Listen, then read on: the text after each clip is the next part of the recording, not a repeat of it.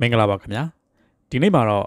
how to get and use money လို့ရေးရတဲ့စာအုပ်ကလေးကိုဆရာဦးမိုးမြင့်ကဘာသာပြန်ထားတဲ့ဝေရှာနီအနှစ်သာရများလို့အမည်ရတဲ့စာအုပ်ကလေးကိုဖတ်ပြပေးချင်ပါတယ်ကျွန်တော်ရဲ့ Novel Reader Channel လေးကဒီလိုမျိုးအောင်မြင်ကြီးပွားရေးနဲ့ပတ်သက်တဲ့စာပေများကိုနေ့စဉ်ညနေ6နာရီခွဲတိုင်းမှာတင်ဆက်ပေးနေတာဖြစ်လို့ကြိုက်တဲ့ဆိုရင်တော့ channel လေးကို subscribe လုပ်ထားပြီးဖို့အတွက်တောင်းဆိုချင်ပါတယ် မြန်မာပြည်ကကြည့်ရှုနေတဲ့မိတ်ဆွေများအနေနဲ့ကကျွန်တော်ကို support လုပ်ပေးခြင်းနဲ့ဆိုရင်တော့ VPN လေးဖွင့်ပြီးတော့ကြည့်ရှုပေးပါဟုတ်ကဲ့ပါဒီနေ့အစီအစဉ်လေးကိုစလိုက်ကြအောင်ဝေရှာနီအနှစ်သာရများစကားရှိငွေသည် လူတိုင်းလူတိုင်းဤတဲကြေကြိုက်ပစ္စည်းဟု ဆိုကြပေသည်ဤစကားသည် မမှန်ကန်ချေလောကနိယမတရားလဲမဟုတ်ချေငွေကို မမျက်နိုးငွေကို မတက်မက်သောကြောင့် ငွေကိုထိမ့်သိမ်းခြင်းမပြုရှာဖွေခြင်းမပြုရှိသမျှကြွယ်ဝမှုတို့ကိုစွန့်လွတ်ပစ်သူ အများပြားရှိလေသည်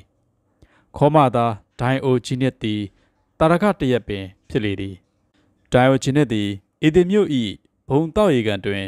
ရေခွက်ဖြင့်ရေခတ်တောက်နေစဉ်လက်ခုပ်ဖြင့်ရေခတ်တောက်သူတို့ကို တွေ့ရလေသည် ခွက်မရှိဘဲရေတောက်လည်းဖြစ်သည်ဟုစင်ကြင်၍သူ့ရေခွက်ကိုလွှင့်ပစ်လိုက်သည် ဥစ္စာဒနာမရှိဘဲတဘာဝအတိုင်းအသက်ရှင်နိုင်သည်ဟု အမြင်ပေါက်ပြီးသူစည်းစိမ်မှန်သမျှကို ပေးကမ်းစွန့်ကြဲလိုက်သည် သူကိုယ်တိုင်မှမူအေဒင်မြို့ရိုးအနီးတွင်ယာဝင်ဆင်းအုပ်ပဲ့ကြီးတစ်ခုအတွင်း၌နေထိုင်ခဲ့သည်တနေ့မြေကြီးပေါ်တွင်တင်ချာပု္ပ္ပာတပုတ်တွက်ချက်နေသောဒိုင်အိုဂျီနစ်ထံသို့စစ်သူကြီးမဟာအလက်ဇန်ဒါရောက်လာလေသည်ဒိုင်အိုဂျီနစ်အားအလိုရှိရာတောင်းခွင့်ပြုလေသည် ထိုအခါဒိုင်အိုဂျီနစ်ကအရှင်မင်းမြတ်၏အရေးတော်ကကျွန်တော်မျိုးတင်ချာတွတ်နေသောမြေပြင်ပေါ်ကျနေ၍အမောင်ကွယ်နေပါသည်နည်းနည်းရွှေ့ပေးပါဟုတောင်းဆိုခဲ့သည်လောကကြီးတွင်ဒိုင်အိုဂျီနစ်ကဲ့သို့ပုဂ္ဂိုလ်အများပြားရှိသည်သူတော်စင်ရန်တာတို့ကဲ့သို့စီးစဉ်ဥစ္စာဒနာတို့ကိုမလိုလားငွေကိုမမတ်မော်ရောက်ရဲတင်းတိမ်သူအများပြားရှိသည်သို့သောရီမန်းချက်ကြီးမားသူတိုင်းသည်ငွေကိုမမောတတ်သည် ငွေကို လိုလားသည်ငွေကို ရှာဖွေရ၏ငွေသည်သာအရာရာကို ဖြစ်ပေါ်စေနိုင်သော အစွမ်းပကားရှိပေသည်ငွေမရှိလျင်ဘာမှမဖြစ်ငွေရှိမှအရာရာဖြစ်၏ဖြစ်နိုင်၏ရီမန်းချက်ကြီးမားသူ၏အဓိကနှင့်ထာဝရပြဿနာမှာ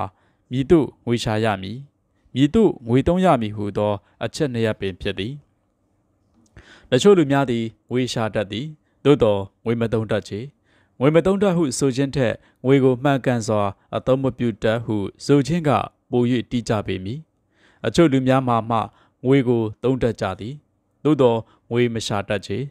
လောကလူသားအများစုမှာမူငွေကိုရှာလည်းမရှာတတ်သုံးလည်းမသုံးတတ်ချေ၎င်းတို့သည်ဘဝတစ်လျှောက်လုံးငွေလောကကြီးမှာမထင်မရှားတာမန်လူသားအနေဖြင့်အသက်ရှင်ရပ်တည်သွားရသည်ငွေရှာနီငွေသုံးနည်းသည်ပညာတစ်ခု ကျွမ်းကျင်မှုတရက်ပင်ဖြစ်သည်သို့သောထိုပညာကိုကျွမ်းကျင်အောင်မစုံမနဲ့စ조사အားထုတ်သူများနေပါလာပေသည်အခြားပညာရပ်များကို လေ့လာလိုက်စားသင်တကဲ့သို့ပင်ငွေရှာနီးငွေသုံးနည်းပညာကိုလည်းအားထုတ်လေ့လာလိုက်စားကြိုးပမ်းမှကျွမ်းကျင်နိုင်သည်ယင်းချက်ကိုသဘောပေါက်သူနေပါလာသည်လုပ်ငန်းတစ်ခုလောက်ကင်ခြင်းသည် အားကစားပြိုင်ပွဲတစ်ခုဝင်ပြိုင်တဲ့ကဲ့သို့ဘတ်စုံပြေဝမှုလိုအပ်ပေသည် မြေကုတရာတစ်ခုတိဆောက်ရန်မြင့်မားသောပညာအဆင့်နှင့်ဘုသူတလိုအပ်တဲ့ကဲ့သို့ဥစ္စာစည်းစိမ်ရှာဖွေရာတွင်လည်းဘုသူတနှင့်ပညာကျော်ဝမှုလိုအပ်သည်သို့သောယင်းအချက်ကို စီးပွားရေးလုပ်ငန်းလောက၏ထိပ်တန်းပုဂ္ဂိုလ်တချို့မှလွဲ၍နားလေသဘောပေါက်သူနေပါလာသည်မည်သူမဆိုအလုံးယုံထောင်နိုင်သည် ပွဲယုံထောင်နိုင်သည် ကုံစုံဆိုင် ဖွင့်နိုင်သည်ဟု တချို့လူများကယုံကြည်တတ်ကြသည် ထိုယူဆသည်လည်းအယူအဆအမှားဖြစ်လေသည်မြမောင်ကာလတွင်စီးပွားရေးလုပ်ငန်းပညာသည်ပို၍နှက်ဆိုင်ကျယ်ဝန်းလာသည်ရှေးရခင်ကာလကဲ့သို့တေချာရေအံလေးတစ်ခုမဟုတ်ချေညောင်းကဘာပြိုခြင်းနှင့်စံပနကိုနွားမှပေါင်ကျိုးသည့်ကိစ္စမဆိုင်ဟုတွက်ဆလို့မရသောကာလဖြစ်သည်နယူးယောက်မြို့မှစိတ်ကမ်းလုပ်သားများတပိတ်မှောက်၍ဂျပန်မှမော်တော်ကားတာယာများဈေးကြီးပြီးအီတလီတွင်တရုတ်ပစ္စည်းများရောင်းအားလိုက်လာခြင်းက အဆက်ဆက်ရှိနေပေသည်ထို့ကြောင့်မျက်မှောက်ခက်ကာလလုပ်ငန်းရှင်သည် လုပ်ငန်းပမာဏကြီးမားလေလေဘူတုတကျွဲဝလာလေလေဖြစ်သည်တခြားလုပ်ငန်းများတွင် အပျော်တမ်းသမားသည်တိုးမပေါက်နိုင်တဲ့ကဲ့သို့စီးပွားရေးလောကတွင်လည်းပျော်ရသမားအတွက်နေရမရှိကြဝေသည် လူအားပြောရမှနေခွင့်ပြုသည်ပြောသလိုနေခွင့်ပြုသည်စန္ဒပြေဝစေလို၏လိုလားချက်ပြည့်စုံစေသည်သူ၏ဇနီးနှင့်မိသားစုအတွက်စိတ်ချမ်းမြေ့စပွဲ အိုးအိမ်ဖန်တီးပေးနိုင်စေသည်လွတ်လပ်မှုရှိစေသည်တပားသူတို့၏ထိမ့်ချုပ်မှုမှလွတ်ကင်းသောသူမိမိဘဝကိုမိမိပိုင်ဆိုင်သူဖြစ်စေသည်ဆင်းရဲမှုအပေါင်း၏အနိဋ္ဌာယုံမှလွတ်ကင်းစေသည်သူသည်ခီးသွားနိုင်၏ကပ္ပအနှံ့လဲပတ်နိုင်၏သူ၏သားသမီးများအားပညာကောင်းကောင်းသင်ပေးနိုင်သည်ငွေရှိသည်နှင့်အမျှသူ၏ဘဝတစ်လျှောက်လုံးပို၍မြင့်မားသော လူနေမှုအဆင့်တွင် နေထိုင်နိုင်ပေသည်တလန်းနိုင်ပေသည် ကမ္ဘာသမိုင်းအစဉ်ဆက်တစ်လျှောက်လုံးတွင်လူအများစုသည် လူစင်းရဲများဖြစ်ကြောင်းတွေ့ရသည်ယင်းတို့သည်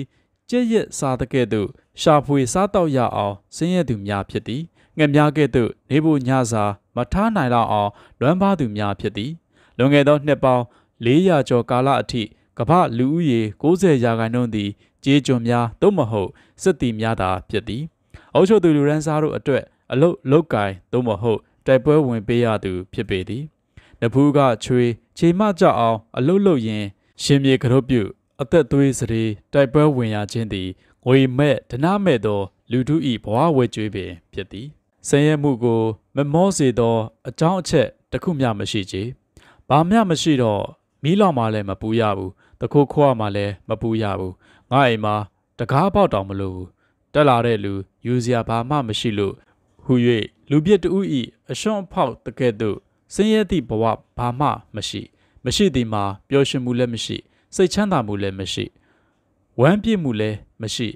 ခြုံစရာစောင်းလည်းမရှိ ခင်းစရာဖျားလည်းမရှိ ဝေဒနာစိုးကြီးတရက်ကတ်ဆိုင်နေတဲ့ကဲ့သို့စိတ်ပြက်စိတ်ကုံစရာသာရှိလေသည်ကမ္ဘာနိုင်ငံမြို့တိုင်းမြို့တိုင်းရွာတိုင်းရွာတိုင်းတွင်တကြွယ်အိမ်တကြွယ်ရက်ွက်ရှိတဲ့ကဲ့သို့စင်းရသားအိမ်စင်းရသားရက်ွက်ရှိလေသည် စင်းရသားရက်ွက်တွင် အမိုက်တရထူပြောအညက်ကြေးအနှံ့သက်များစိုးပေသည်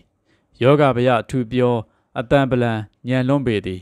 စင်းရသားရက်ွက်များတွင် ပိတ်မိနေသောမြင့်မြတ်သည့်လူများရှိတတ်ပေသည်ရှင်းလူများအတွက်ဆင်းရဲသောရက်ွက်လောကထဲရောက်နေခြင်းသည်ငရဲပြည်ရောက်နေသည်နှင့်တူပေသည်တချို့မြို့ကြီးပြကြီးများ၏ဆင်းရဲသောရက်ွက်အခြေအနေမှာစိုးဝါလွန်းလာသောကြောင့်ထောင်ထဲရောက်ရသည်နှင့်ပင် တူနေသေးသောသည် အဘဲကြောင့်ဆင်းရဲသားရက်ွက်တွင် နေထိုင်သည်လူ90ရာခိုင်နှုန်းသည်ဝေမရှိသောကြောင့်ဆင်းရဲသားရက်ွက်တွင် လောကအတွင်း၌ပိတ်မိနေကြလေသည်ဝေမရှာတတ်သောကြောင့်ထိုနုံတော်မှလှမ်းမတက်နိုင်ချေဤစာအုပ်တွင်ဘဝတလန့်အတွက်ဆရာဖြစ်သောငွေဘဝဤအတိကလိုအပ်ချက်ဖြစ်သောငွေဘဝဤတာယာမှုအပေးနိုင်ဆုံးသောငွေရှာဖွေနီးနဲ့ရင်းတို့ကိုအကျိုးရှိရှိအသုံးပြုနေစားတဲ့တဘိုးတိုးပွားအောင်ဆောင်ရွက်နည်းများကို အလွယ်ဆုံးဖြစ်အောင်အနှစ်ချုပ်တင်ပြထားပါသည် အခန်းတစ်ဝေရှိတဲ့သည့်အကြောင်းအရာများဝေရရှိနိုင်သည့်ဤသုံးနည်းရှိပေသည်ရှင်းတို့မှာတက်အမွေရခြင်းနှစ်ငွေနှင့်အိမ်တောင်ပြုခြင်းသုံးအလုတ်လောက်ကင်ခြင်းတို့ပင်ဖြစ်သည်ပထမနည်းမှာမတော်တဆဖြစ်လေသည်ကိုတိုကံတက်တက်တာဖြစ်သည်ကျွမ်းကျင်သူအရေးရှင်ရှိမှုနှင့်လုံးဝမသက်ဆိုင်သောကိစ္စရပ်ဖြစ်သည်ထို့ကြောင့်ပင် ယင်းနည်းသည်ငွေရနည်းတွင်ကျဉ်တ်လောက်သောနည်းမဟုတ်ချေဒုတိယနည်းမှာတခါတရံတွင်ကံအကြောင်းတင့်သောကိစ္စတရဖြစ်သည်တခါတရံတွင်ကျွမ်းကျင်မှုနှင့်ဆက်နွယ်နေသည်တခါတရံတွင်အရေးချင်းပေါ်မူတည်နေသောကိစ္စဖြစ်သည်ထို့သို့ငွေရရှိသောနည်းသည်တခါတရံတွင် စိတ်ချမ်းသာစရာ ဖြစ်တတ်ပေသည်တခါတရံတွင် အလွန်မင်းစိတ်ညစ်ညူးစရာ ဖြစ်တတ်ပေသည်တတိယနီးမှမူကံနှင့်လုံးဝမသက်ဆိုင်ခြင်း ကျွမ်းကျင်မှုနှင့်အရေးချင်းတက်တက်နှင့်သာပတ်သက်ပေသည်ယင်းနည်းဖြင့်ငွေရရှိခြင်းသည်ကျင့်တတ်စရာကောင်းတဲ့ကဲ့သို့တိတ်ခါရှိသောနီးပင်ဖြစ်သည်အခက်အခဲဒုက္ခများပြားလာသည့်နီးချမ်းလမ်းချမ်းပင်ဖြစ်သည်လူများစုသည်ထိုနည်းကိုရွေးလဲမရွေးချယ်လိုကြပေထိုလမ်းကိုရှောက်လဲမရှောက်လိုကြပေငွေသည်အရာရာကိုမစွမ်းဆောင်နိုင်တော့လဲလောက၏အခြားပစ္စည်းများကဲ့သို့ပင်ငွေသည်လည်းမရှိမဖြစ်သောပစ္စည်းဖြစ်သည်ငွေမရှိလျင်ငတ်မော့ဆင်းရဲမည် ပူပင်ကြောင်းကြဒုက္ခရောက်ရမည်ငွေမရှိသေးခင်ကာလအထိငွေကိုသာအတိကထားရပေမည်ထိုငွေကိုသာအရေးပါဆုံးဟုမြင်ရမည်ငွေရရှိရေးကိုသာဥထိတ်ပန်ဆင်၍ငွေကိုသာရှာဖွေပေးရမည်ငွေရှိလာသောအခါတွင်မူတမျိုးတစ်ပါးသာပြောင်းသွားလေသည်အခြားအကြောင်းချက်များထည့်သွင်းသုံးသပ်ရန်လိုလာလေသည် ကျွန်တော်တို့သည်ပန်သူကပလာကို အခင်းအရွက်များကိုဝက်စားတော့ကိုစကြက်အဖြစ် သတ်မှတ်ထားသောအရင်ဆိုင်များမဟုတ်ကြချေ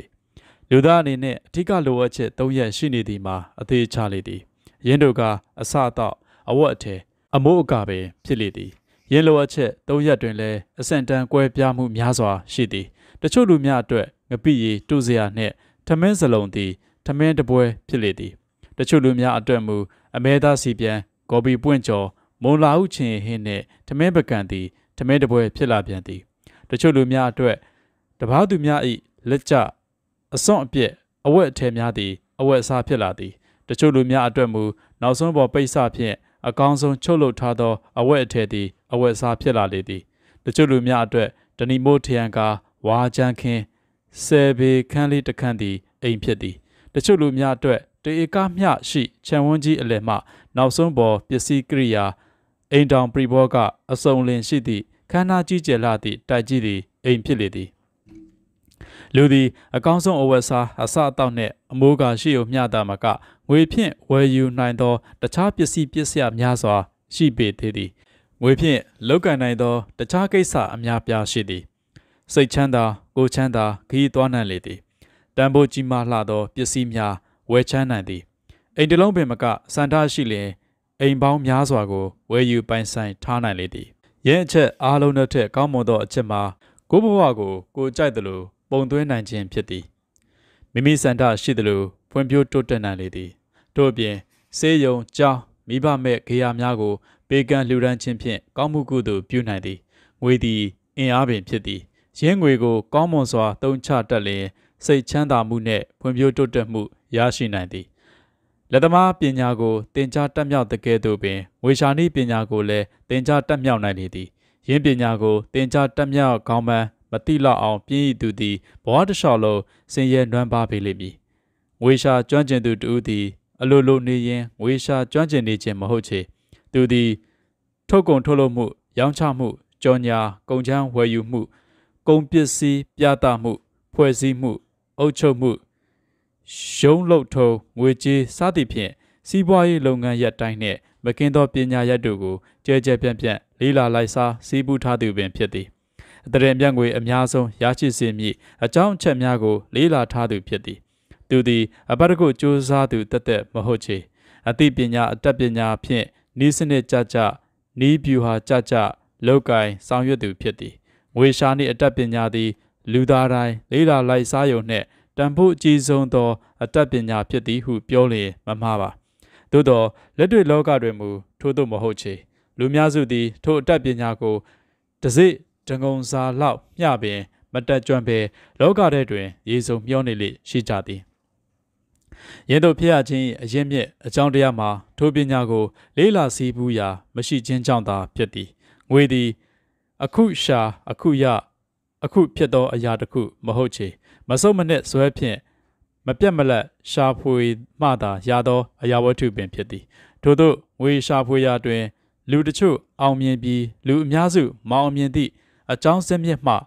လူအများစုသည် အောင်မြင်မှုကို လိုလားတော်လဲရင်းနှင့်ထိုက်တန်သောအဖို့အခကိုပေးဆက်ခြင်းမပြုကျင်ကြသောကြောင့်ဖြစ်သည်လူများစုသည်ပညာတက်မြောက်ရေးအတွက်ဝါယမစိုက်ထုတ်မှုမရှိကြပင်ပင်ပန်းပန်းဝရိယစိုက်ထုတ်လောက်ကင်လိုစိတ်မရှိကြ ငွေကြေးရရှိလိုတော့လဲငွေကြေးရရှိထိုက်လောက်အောင်ဇွဲမရှိကြထိုလူစားတို့သည်မိမိ၏ချိုးရင်းချက်ကိုမမြင်တော့လဲတခြားသူများ၏အောင်မြင်မှုကိုမနာလိုမရှုစိမ့်ဖြစ်တတ်သည်ထိုသူတို့သည် ကုသိုလ်ကံစိုးမှုကိုပြတ်တောက်ပြတ်တောက်ညီးတွား၍လောကကြီးကိုသာအပြစ်တင်တတ်သည်လိုချင်တာကိုယူပါဟုဖျားသခင်ကမိန့်ချွေခဲ့သည်ဟုစပိန်စကားပုံတစ်ခုကဆိုလေသည်တကယ်တမ်းတွင်လိုချင်တာကိုယူပြီးထိုက်တန်သောအဖို့ခ ပေးဆက်ပါဟုဘုရားသခင်ကဟောကြားထားခြင်းဖြစ်သည်လောကတွင်၎င်းရသောပစ္စည်းမဟုတ်အရာဝတ္ထုသို့မဟုတ်အဆင့်တန်းဟု၍မရှိကြတန်ဖိုးကြီးသောပစ္စည်းအတွက်တန်ဖိုးကြီးသောပေးဆက်မှုကိုပြုရသည်စီးပွားရေးလုပ်ငန်းရှင်တူသည်သူ၏စီးပွားရေးလုပ်ငန်းကိုတဝက်တစ်ပြက်လုပ်ကင်၍မရချေဘေးကိစ္စသဘောမျိုးထား၍ဆောင်ရွက်၍မအောင်မြင်နိုင်ချေထို့သောလောက်ကင်ဆောင်ရွက်ခဲ့၍စီးပွားပြတ်သွားသူတူရှိခဲ့ဘူးသည် သူသည် အလွန်ကြွယ်ဝချမ်းသာသည့်ပုံစံဖြင့်စီးပွားရေးလုပ်ကင်ခဲ့သည်လက်ရှိလောက်ကန်နေသော အလုတ်အကင်ကို အပယိကထမင်းစားရေတောက်လွယ်ကူသည့်ကိစ္စအဖြစ်သဘောထားခဲ့သည်တကယ်တမ်းတွင်မူသူလောက်ကန်နေသော အလုတ်အကင်ကို အပြည့်အဝအာရုံစူးစိုက်နေရန်လိုအပ်တော်လဲမလုပ်ခဲ့ချေစီးပွားရေးလုပ်ငန်းတစ်ခုတီထောင်ဆောင်ရွက်လျင်ပထမဆုံးဦးစားပေးဆောင်ရွက်တဲ့သောအချက်မှာထိုလုပ်ငန်းမှအမျက်ဆုံးရရှိအောင်ပင်ဖြစ်သည်ထို့သောအမျက်ဆုံးရရှိသောအခြေအနေထိစိုက်ရောက်ပြီး ပုံမှန်လဲပတ်ပုံမှန်အမျက်ဆုံးနေသော အခါမှသာဘေးပန်းစိတ်ဝင်စားမှုကို အာယုံထားသင့်ပေသည်တခြားကိစ္စများကိုခေါင်းထဲထည့်ထားသင့်လေသည်မယောင်ရာစီလူချင်းမလုတ်သင့်ချေပထမရေးကို ပထမအနေထား၍ဆောင်ရွက်သင့်သည်အတိကနှင့်တာမညကိုမှန်ကန်စွာ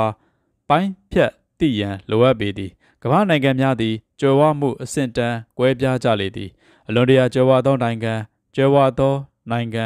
တာမန်နိုင်ငံဆင်းရဲသောနိုင်ငံနှင့်လွန်တရာဆင်းရဲသောနိုင်ငံဟုအဆင့်ဆင့်ရှိလေသည်ကမ္ဘာနိုင်ငံအရေးအတွက်200နီးပါးလောက်တွင်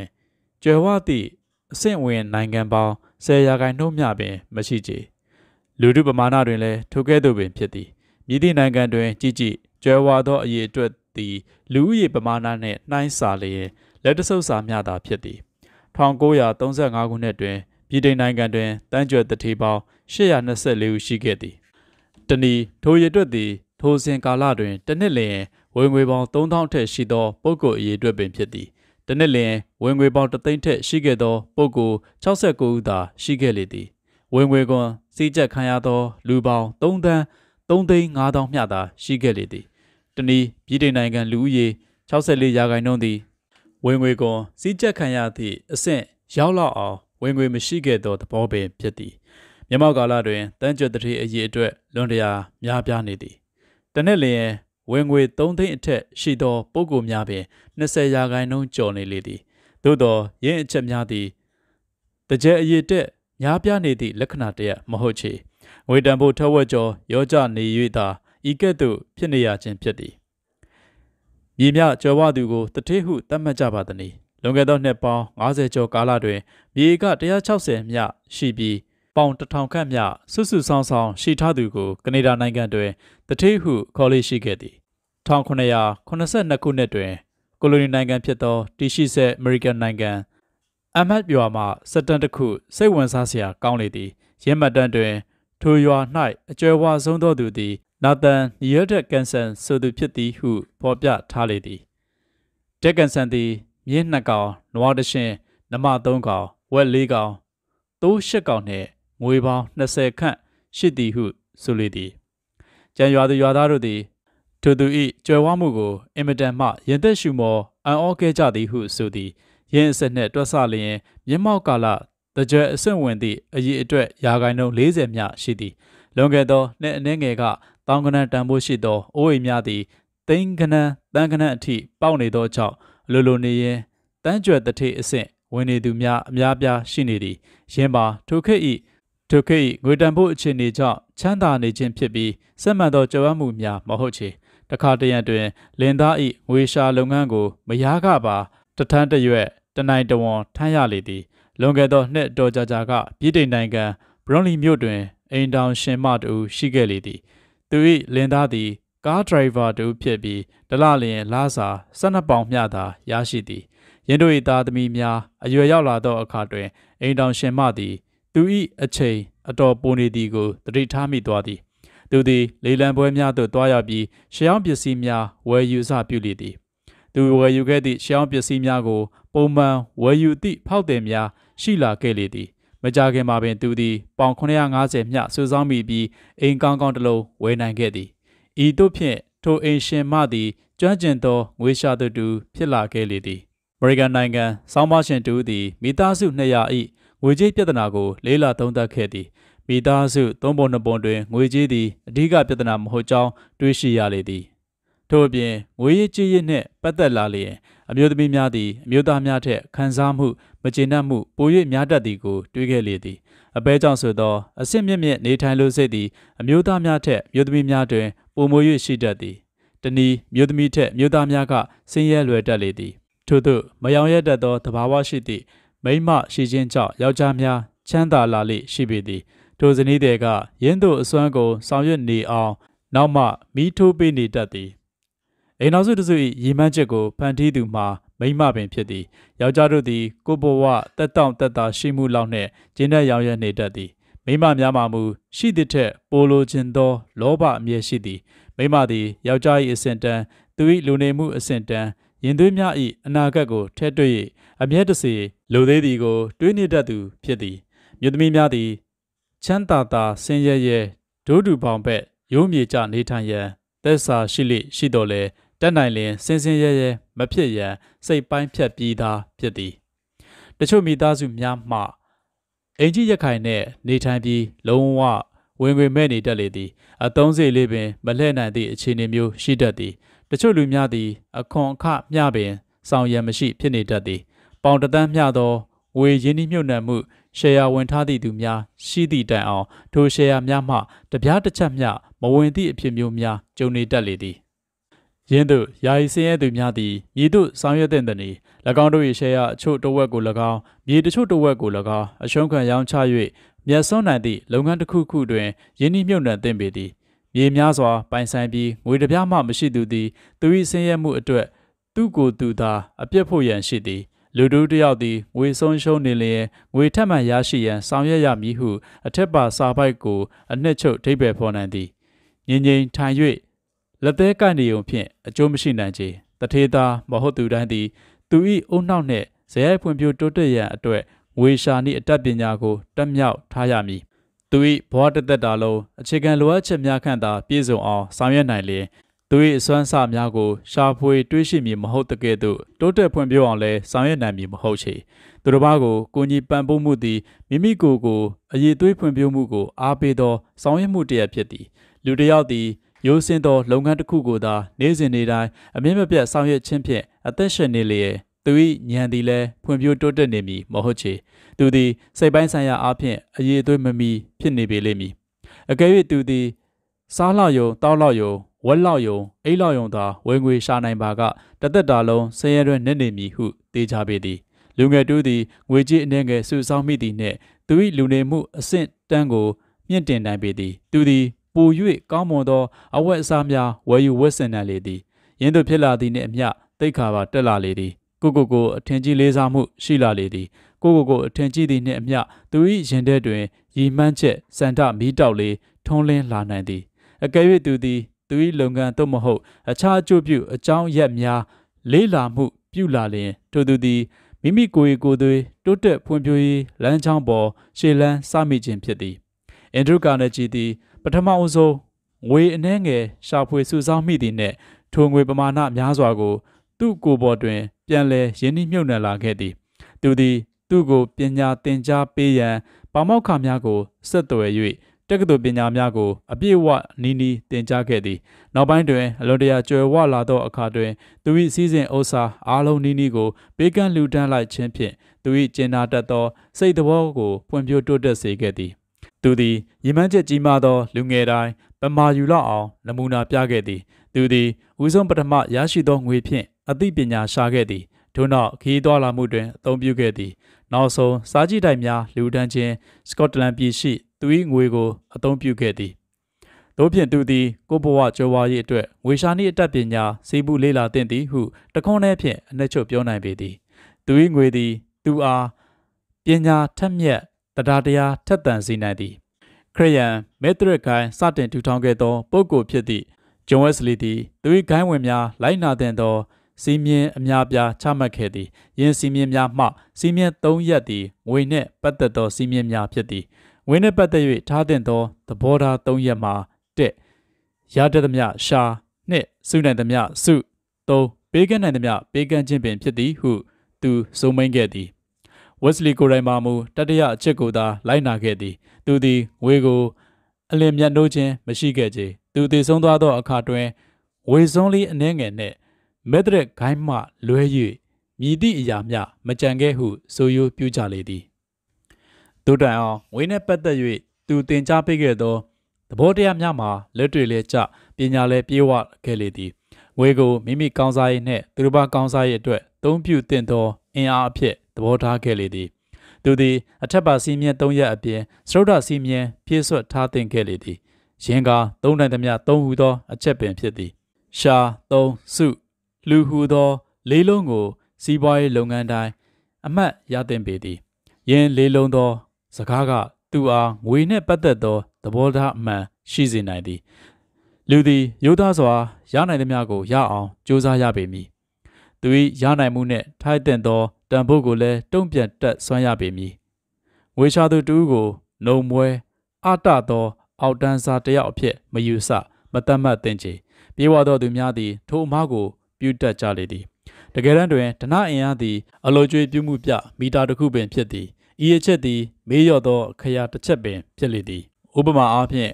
ကုံစုံဆိုင်ရှင်တူသည်ဘန်တွင်ငွေပေါင်းတစ်ထောင်မျှစုဆောင်းထားနိုင်ခဲ့လျင်သူသည်ရာပေါင်းများစွာသောမိသားစုများကိုအကျိုးပြုခဲ့ပြီးဖြစ်ကြောင်းဒိဗေရသည်သူသည်သုံးနိုင်သမျှငွေကိုအခြေအနေနှစ်ရက်တွင်အသုံးပြုသင့်သည်တရက်မှာသူနှင့်သူမိသားစု၏ လူနေမှုဘဝကိုမြင့်တင်မှုတွင်ဖြစ်ပြီးတခြားတရက်မှာသူ၏လုပ်ငန်းချက်ထွင်မှုတွင်ဖြစ်သည်သူသည်ငွေကိုအသုံးပြုသလိုယင်းနှိမြုပ်နှံမှုလည်းပြုသင့်သည်ငွေကြေးအားလုံးကိုအသုံးမပြုသင့်သလိုငွေကြေးအားလုံးကိုယင်းနှိမြုပ်နှံမှုလည်းမပြုသင့်ချေသူသည်ငွေကြေးဖန်တီးသူဖြစ်တဲ့တကယ်သို့ငွေအိတ်အောင် အောင်းထားသူလည်းမဖြစ်သင့်ချေသူသည်စုနှံသမျှစုသင့်ပေသည် ယင်းစုဆောင်မှုတွင် လုပ်ငန်းအတွင်းယင်းနှိမြုပ်နှံငွေလုပ်ငန်းပြင်ပယင်းနှိမြုပ်နှံငွေနှင့်ဘဏ်တွင်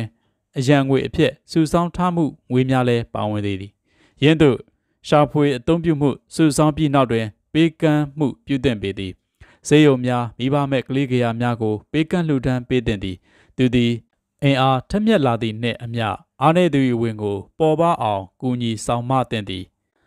ကျွန်တော်တို့၏ပိုင်ဆိုင်ထားသောငွေသည်ကျွန်တော်တို့အား စေတနာတရားတရားထက်သန်စေနိုင်သောအင်အားတရက်ဖြစ်သွားသင့်ပေသည်စီးပွားရေးလုပ်ငန်းတိုင်းလုပ်ငန်းတိုင်းတွင်တာဝန်ကြီး၃ရက်ရှိသည်ယင်းတာဝန်ကြီး၃ရက်က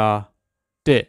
ငွေရှင်များပေါ်တာဝန်ရှိခြင်းနှင့်လူသမားပေါ်တာဝန်ရှိခြင်းနှင့်၃လူထုပေါ်တာဝန်ရှိခြင်းပင်ဖြစ်သည်ပထမအချက်အနေနဲ့ငွေရှင်များကိုအချို့ကျအမျက်ငွေခွဲပေးရမည်ယင်းတို့မပြုလျင်ယင်းလုပ်ငန်းကို ပြန်လည်ပြုပြင်ဖွဲ့စည်းသင့်ပေသည်သို့မဟုတ်ရောင်းချ ပြစ်သင့်ပေသည်သို့မဟုတ်တစ်ခုလုံးဖျက်သိမ်းပြစ်လိုက်သင့်သည်ဒုတိယအနေနဲ့လူသမားများကိုတရားမျှတသောလစာပေးရမည်အသက်အရွယ်ကြီးလူသမားတွေအတွက်ထိုက်တင့်သောငြိမ်းစားစနစ်ရှိသင့်ပေသည်လုပ်ငန်းကြီးဖြစ်လျင်လက်ရှိလူသမားများအပြင်လူသမားဟောင်းများ၏လူမှုဖူလုံရေးကိုပါဆောင်ရွက်ရန်တာဝန်ရှိသည်တတရအနေဖြင့်ဈေးနှုန်းနှင့်ထိုက်တန်သောပစ္စည်းများကိုထုတ်လုပ်ရောင်းချရန်တာဝန်ရှိသည်လူထုကိုအကျိုးပြုသော လုပ်ကျွေးမှုပြုရပေမည်မြမောက်ကာလတွင်ထိုတာဝန်၃ရက်ကိုစောင့်ပုတ်ကြီးအဖြစ်လိုက်နာကျင့်သုံးနေသော လုပ်ငန်းရှင်များစွာရှိသည်ယင်းသည် နိုင်ငံတိုင်းနိုင်ငံတိုင်း၏အတိကကြောရိုးပင်ဖြစ်သည်ထိုကဲ့သို့သောကမ္ပဏီသို့မဟုတ် လုပ်ငန်းမျိုးပုံမများပြရန်လိုအပ်ပေသည်